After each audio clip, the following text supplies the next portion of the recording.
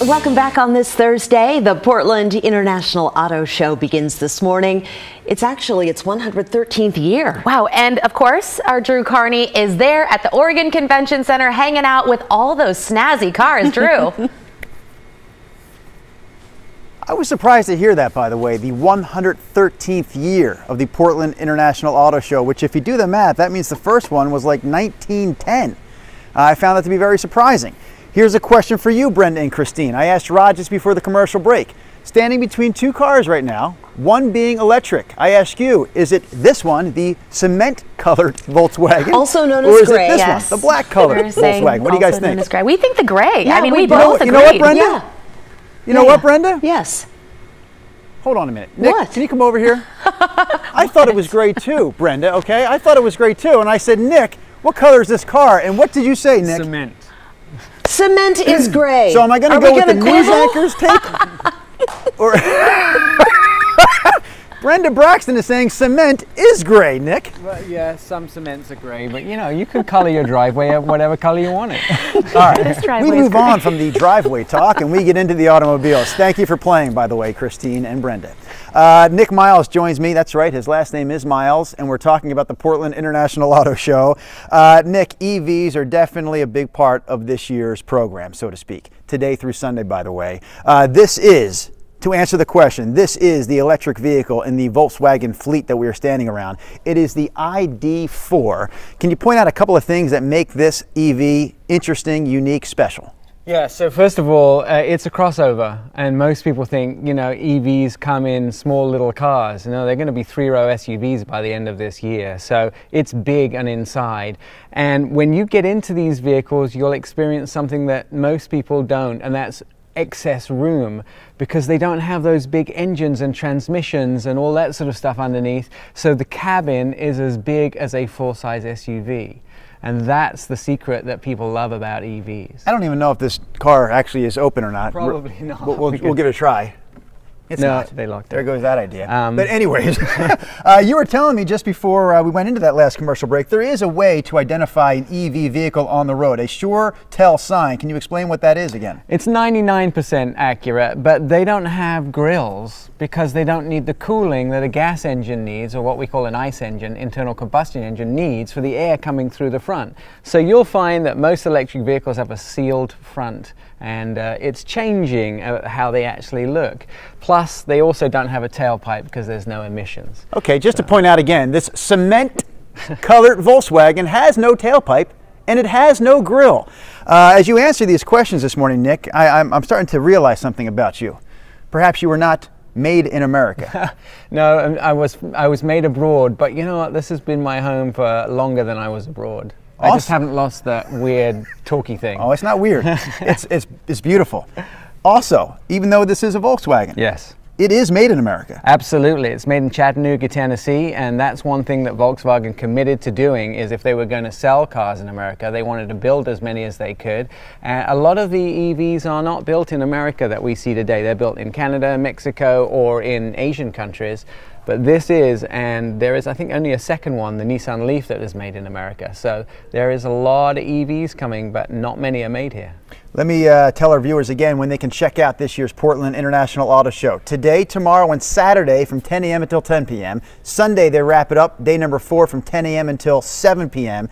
Right here at the Oregon Convention Center. More information at portlandautoshow.com. Hopefully, Brenda, Christine, and Rod, you feel filled with information about this cement colored Volkswagen ID4. Absolutely. And tell Mr. Miles we love his accent. I was noticing that as well. Drew will be checking back in a little bit. The 113th annual Portland International Auto Show starts today. And all morning long, we've been showing you this year's newest, and most innovative cars. Drew Carney is uh, live in one of them this morning at the Oregon Convention Center. You are going to drive a car inside the building? I'm excited. Yes, well, I'm going to be the passenger of a truck that is driven inside the building, yes. but uh, I think I understood what you meant there, Brenda. Uh, the Portland International Auto Show is what we're talking about. We are inside the cab of this all-electric Ford F-150. I believe we have two camera shots for you, this tight one, where I'm basically right in the lap of my photographer, Eric Patterson. And then we have this wider, we have this wider view that Eric set up so you can see the outside of the truck. So two shots, one driver. Actually, uh, one of our producers is here as well. Uh, Brittany Smith is joining us to help out this morning. We are all jammed in this cab. Brittany, stick your hand between the camera and my face. See, we're all in here together.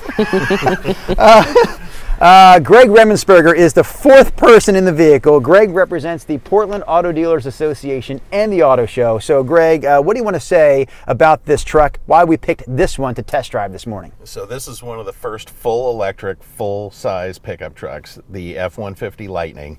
And the standard F-150 is is the number one selling vehicle, not just truck, but the number one selling vehicle in Oregon, new and used, year after year after year. So there's a lot of excitement about this car truck coming out. We're ready to uh, put it through the paces here. All right, we can slowly.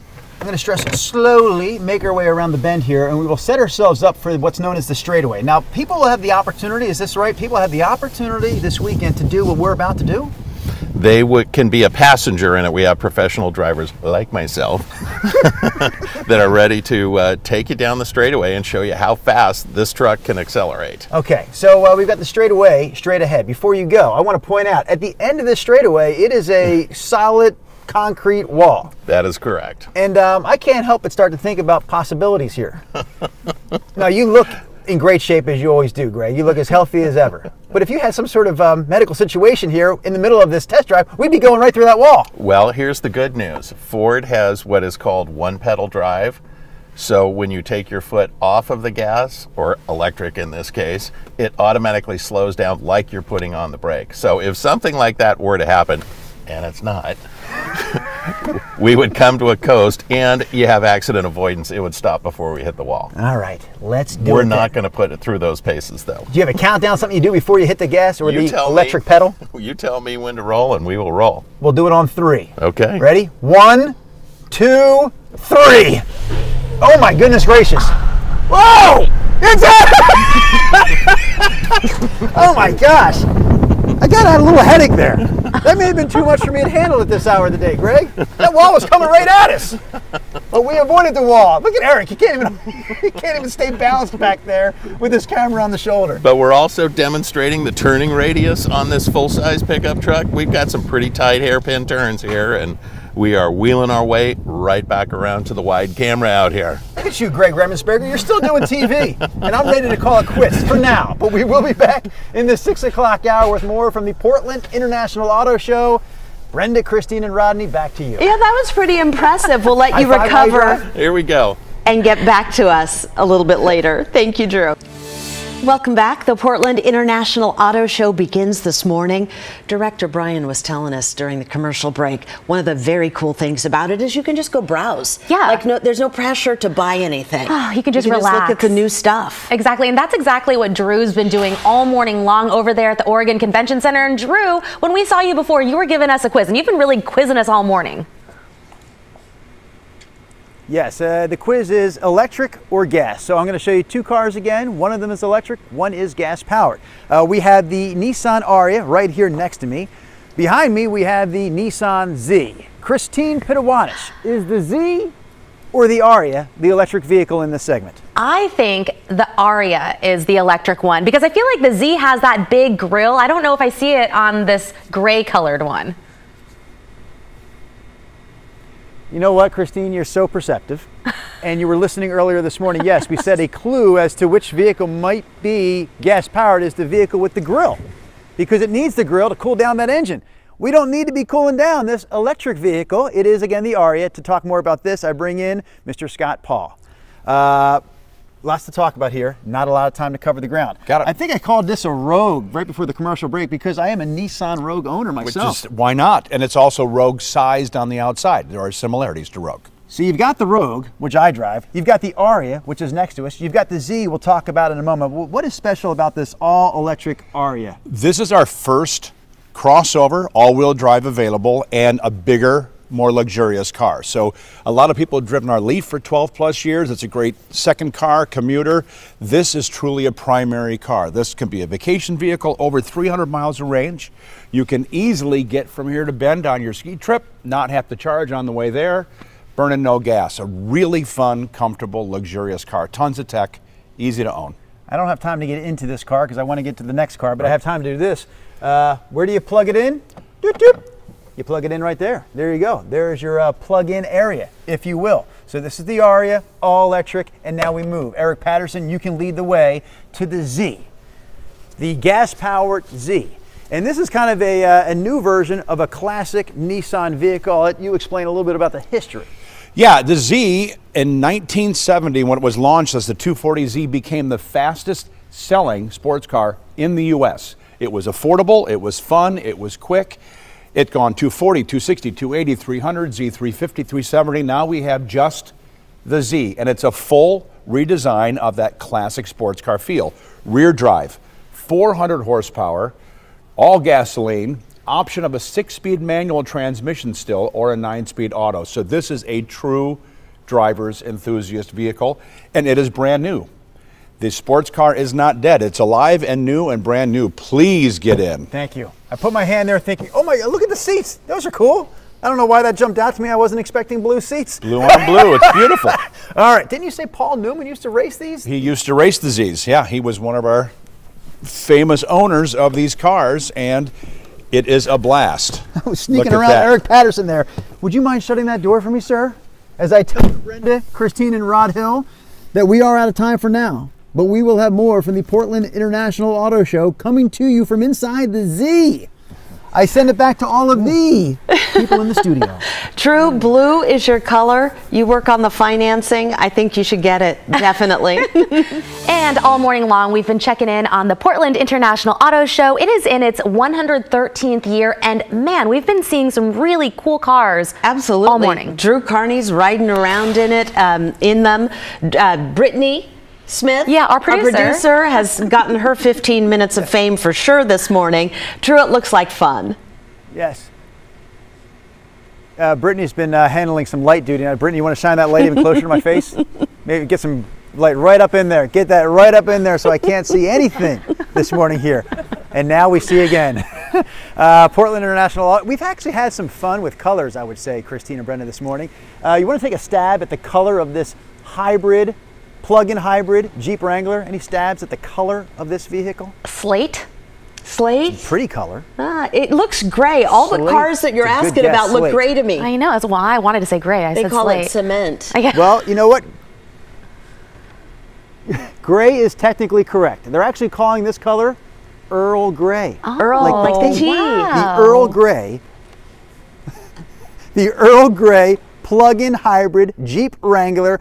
And this is Scott Brown. That's a very easy name to remember, Scott. Scott Brown represents many brands out here at the auto show uh, Jeep, Chrysler, Dodge, Ram among them. Let's talk about this Jeep Wrangler. The plug in hybrid is still unique to some, but no longer unique to the Wrangler. Correct. Yeah. That this powertrain has migrated over to the Grand Cherokee. But the nice thing about this is it's still a Wrangler. All of the capability, all of the open air freedom that our owners expect, but now guilt-free. You know, um, with with a hybrid, a plug-in hybrid. So you get about 20 miles of all electric, and then the gas motor seamlessly kicks in. I once owned a hybrid vehicle. It was not a plug-in hybrid. I didn't Right. feel like it was much of a hybrid at all. Like I, Right. people say, "Oh, what's it? I said, "I don't know. I feel like it was running elect or pardon me, gas powered most often." Right. This you really do have choices. Right, Can you yeah. explain that? Yeah, so as a plug-in, number one, it's going to prioritize um, the electric first, right? So that's the thing with with the plug-in hybrid versus a regular hybrid. It's bigger batteries, electric first, runs in all electric. This has two electric motors. Combined, it's 375 horsepower, 470 pound-feet of torque. And then on top of that, with a Wrangler, you have the ability to select a hybrid mode or a gas mode or an e-save mode, which is going to save the battery for a later date. Say you're driving to Seattle and you want to have all electric when you get to downtown Seattle. You can drive there in gas, get to Seattle, hit the hit the electric mode, uh, and be in, in electric. You got all those numbers rattling around Yeah, your head. I do. I'm not the car guy. You are, and that's why you're here. but I'm going to tap into your uh, knowledge for one more vehicle. The car next door. Yeah. The Jeep Grand Cherokee. Uh, this is also a plug-in hybrid. Same, same, basically the same powertrain. You get about 25 miles of all electric with this. It's more efficient. Um, you know, obviously this is a little bit. It's it's less the bouldery, you know, you, you completely capable vehicle, but still it's a it's a Jeep, so it's very capable. A little bit more all-weather. In the Northwest, it's perfect. We sell a ton up here because of the all-weather capability. Um, but again, a plug-in hybrid, same system, 25 miles of all electric, an e-save mode, a gas mode, a hybrid mode. Um, set it work. Do what you want with it. Uh, what I'd like to do with it is get back inside the Wrangler and pop our heads out the top. I don't know. It's just it's just kind of fun to me. Brenda, Christine, Rodney, it is the Portland International Auto Show. It is happening today, tomorrow, Saturday, and Sunday. The hours are 10 a.m. until 10 p.m. today through Saturday.